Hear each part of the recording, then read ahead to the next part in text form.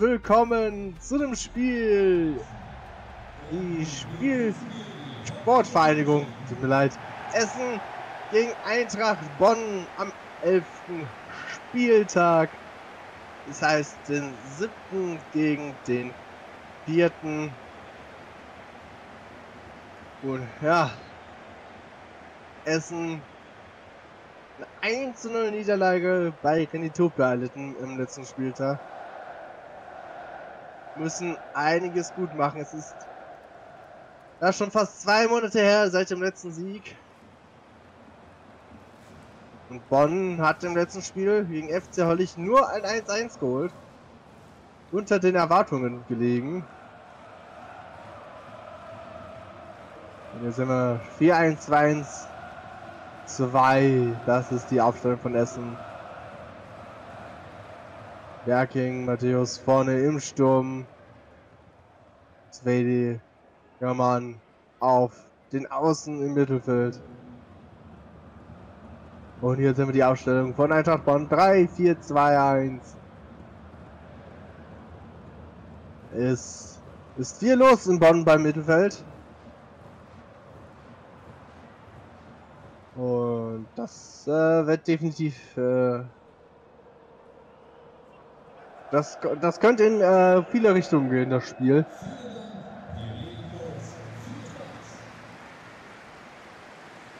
Das, äh, da will ich mal meine Empfehlung rausgeben, dass man dieses Spiel nicht verpassen sollte. Warten wir nur, dass das Spiel beginnt. Da gab es einen Pfiff und da läuft na, da rollt der Ball. Hat, äh, soweit ich geschaut habe, haben die Beine, äh, die Bälle keine Beine. Beine haben auch keine Bälle, also zumindest nicht angewachsen. Matthäus direkt im Strafraum, aber ohne Möglichkeit, ohne Chance. Jetzt Biaggi zu Tari, zu Reiners. Er ist aber im falschen Team. Aus Bonn-Sicht. Matthäus. Gibt ab zu German. Und der läuft ins Aus. Torabstoß. Und eine Möglichkeit für, für Bonn von hinten aufzuräumen.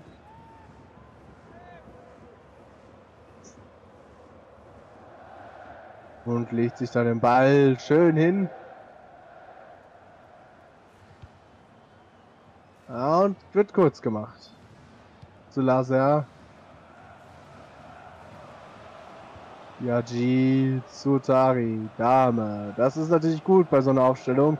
Man hat direkt vorne viele Positionen, Anspielpositionen. Man kann da viel machen.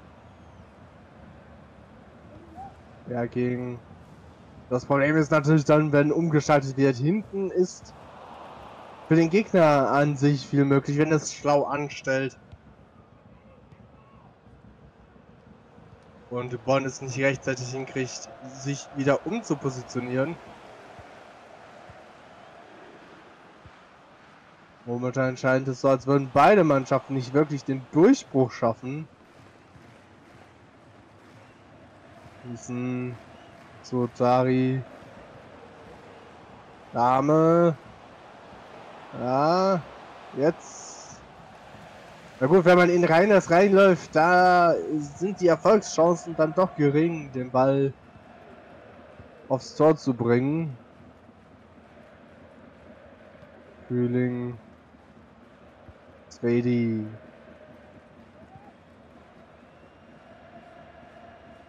Im Gegensatz zu der äh, Aufstellung von Bonn Essen offensiv mit weniger Leuten, auch weniger äh, Möglichkeiten, dafür aber hinten besser gestellt, wenn es defensiv dran geht als Bonn. Aber wie bei jeder Taktik gibt es Vor- und Nachteile. Man muss das immer abwägen. Die, also die Trainer müssen das immer abwägen, was man da präferiert welches System für die Mannschaft dann äh, Stärken und Schwächen dann auch besser funktioniert. Man sieht bei vielen Mannschaften, da hat eine Dreierkette so überhaupt nicht funktioniert und Bei Bonn macht das überhaupt keine Probleme. Dame sucht, findet da niemanden. Oder wollte da nicht abgeben. Matthias. Beinahe durch gewesen. Jesus. Hat dort Nissen. Ja, zur Dame. Nissen. Jesus. Gibt zur Dame. Ja, heute nicht so wirklich die äh, Person, die man anspielen möchte anscheinend. Sehr viele Ballverluste. Diesmal per Fehlpass.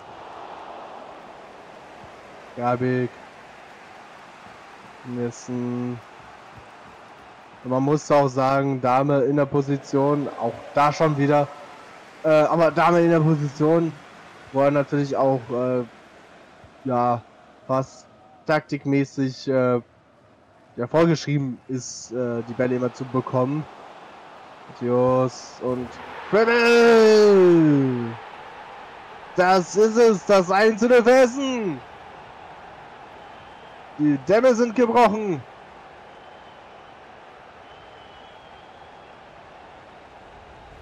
Und der Jubel ist groß.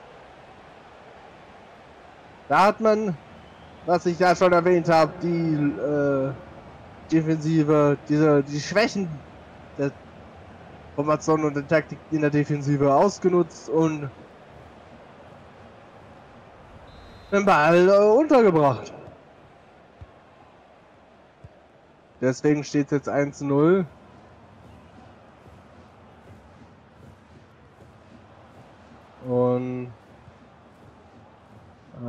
interessanter Lauf da jetzt um Bonn und Nissen. Wagner nimmt sich da den Ball weg, also hat er rausgetreten, es gibt eine Ecke für Bonn. Und hier sind wir nochmal das 1 zu 0. Da gab es nichts zu machen.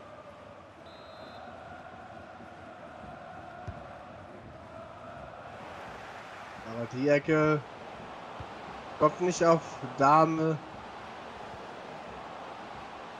Müssen Suche! So, so, der ist drin! Der ist drin! Adenstein kann ihn nicht halten! 1 zu 1! Das Spiel ist wieder ausgeglichen.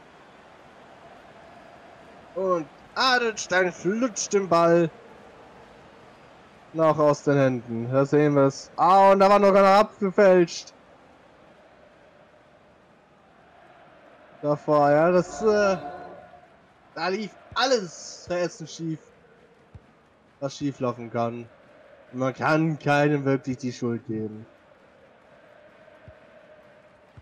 Da war mehr Glück im Spiel, als man das im ersten Moment dachte. Und Essen, man merkt, sie lassen sich, wollen sich das nicht gefallen lassen. Matthäus.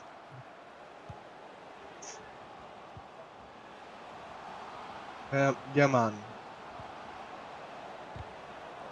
Ah, Labi schnappt sich dann den Ball. Jetzt geht's wieder in die andere Richtung. Bonn noch fünf Minuten reguläre Spielzeit in dieser Halbzeit. Jesus. Ja, wo kann er jetzt hinspielen? Darby hat er gefunden. Nissen gibt zur Dame. Dame definitiv mit dem Spiel. Man hat bessere gesehen, um es mal nett auszudrücken. Der King, der macht das aber gut. Der ist durch zögert nochmal das war ein Fehler. Da muss man auch sagen, das war ein Fehler.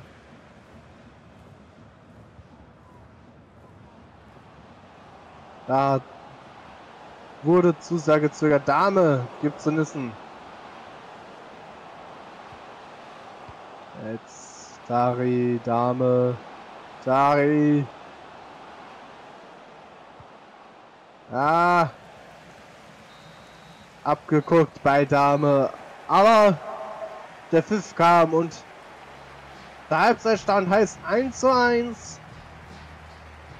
Beide Mannschaften werden für die zweite Halbzeit nochmal alles geben und alle Energiereserven verbrauchen.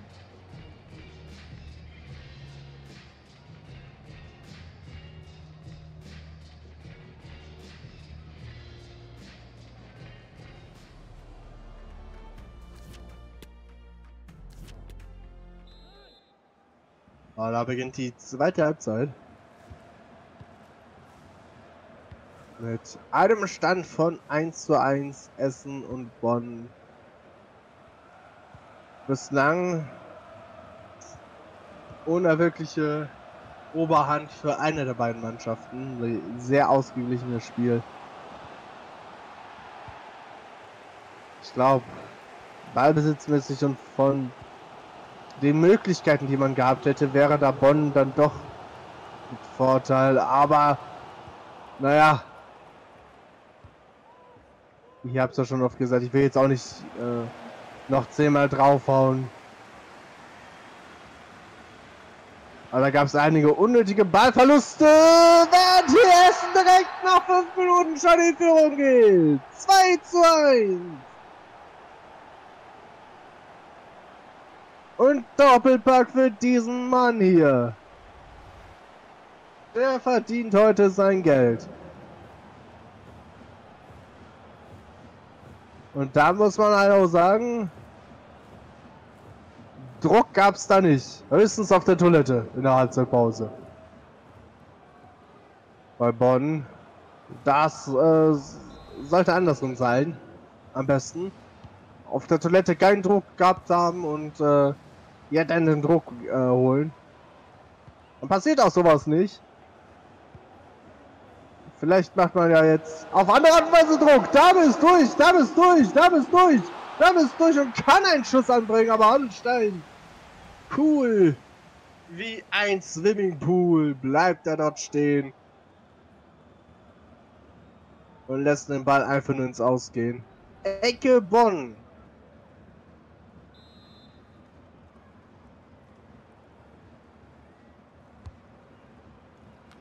Ah. Kühling kommt zuerst dran. Aber Tari hat den noch. Und damit ist dabei noch gefährlich. Wolfi. Zu sehr belagert. Jetzt Essen in die andere Richtung. Da sehen wir die Ballbesitzstatistik. 45% zu 55%. Oh, Gerbig, das äh, gefährlich. Jesus. Name. Labi. Ja, von der Ballbesitzstatistik ist das, was ich gesagt habe mit Ausschöpfung der Möglichkeiten, dass da wahrscheinlich äh, Bonn doch die Oberhand hat, aber man halt nicht so wirklich, also durch viele Fehlpässe und viele Ballverluste nicht wirklich die Chancen hatte. Und dass da dann doch eher ausgeglichener ist mit Essen. Das äh, finde ich, sieht man zumindest leicht in der Ballbesitzstatistik. Also seitdem ist äh, oh, einiges passiert in dieser Halbzeit. Das war ja noch vor dem 2 zu 1. Und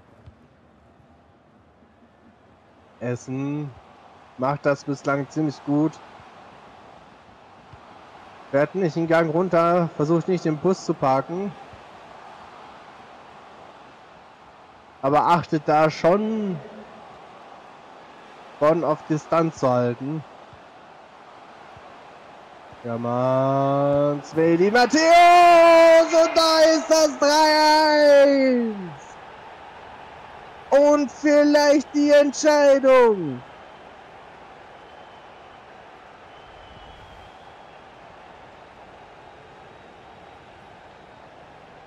Denn Bonn liegt mit zwei Toren zurück und ja, Hund, es sieht beinahe so aus, als würde er zusammenfallen wie ein nasser Sack Reis. Aber ich glaube, da ist dann auch die ja, Wut, Sauer, Enttäuschung in die Defensive dann doch größer als die, die Kraftlosigkeit in dem Moment genießen. Jetzt vielleicht Bonn mit einer Antwort, aber der geht außen ans Tor. Man hatte gute Versuche. Ziel kommt für Wagner bei Essen. Man hatte gute Versuche, aber zum Beispiel der eine Schuss von Dame. Aber da muss man auch sagen, Essen bislang souverän, eiskalt und ruhig. Lassen sich nicht zu großen Fehlern drängen. Und das ist wichtig. Tari zu Lavi. Man merkt, Bonn hat umgestellt. Es flutscht vorne nicht mehr so sehr, wie es am Anfang tat, aber dafür ist es wahrscheinlich jetzt nach den zwei Toren defensiv wahrscheinlich ein bisschen äh, Geordnung. Also soll wahrscheinlich defensiv mehr Ordnung reinkommen und da mal wieder gefährlich. Und wieder sind hier die goldenen Hände Adelsteins dran den Ball nicht ins Tor zu lassen.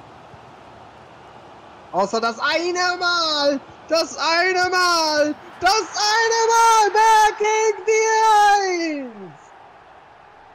Das eine Mal für Bonn!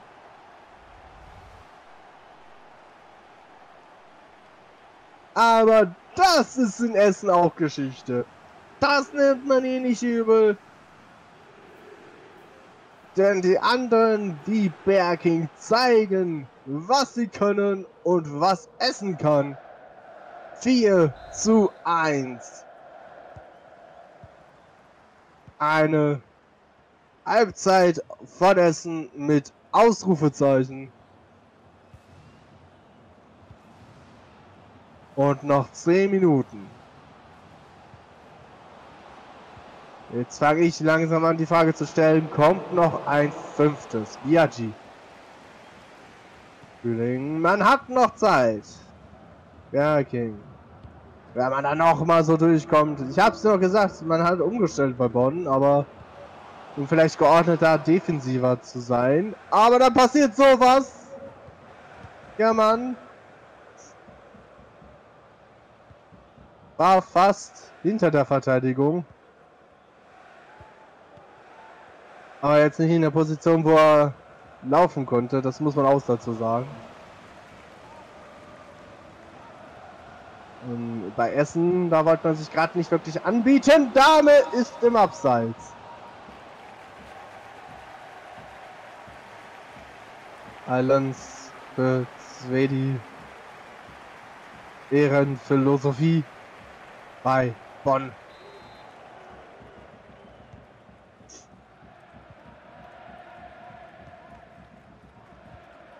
Ja, der Taktikkniff mit, äh, mit mehr Ordnung in der Defensive scheint er dazu geführt zu haben, dass man noch mehr Lücken hinten hat. Und Essen irgendwie doch noch mehr, noch mehr durchkommt. Das war ein Schuss in den Ofen. Und jetzt die reguläre Spielzeit. An sich ist sie schon vorbei. Warten wir auf die Nachspielzeit. Das müsste zwei Minuten, würde ich jetzt sagen. Ja, zwei Minuten. Gut gemacht, Dame. Tai, Tai, der muss schießen, aber der tut's nicht. Und damit vergibt man die Chance auf das 4-2. Die Schönung des Ergebnisses. Und da wird gepfiffen. Essen gewinnt souverän und lässig mit 4 zu 1 gegen am Anfang starke Bonner die in der zweiten Halbzeit stark nachgelassen haben. Ich bedanke mich fürs Zusehen, sage Tschüss, bis zum nächsten Mal und auf Wiedersehen.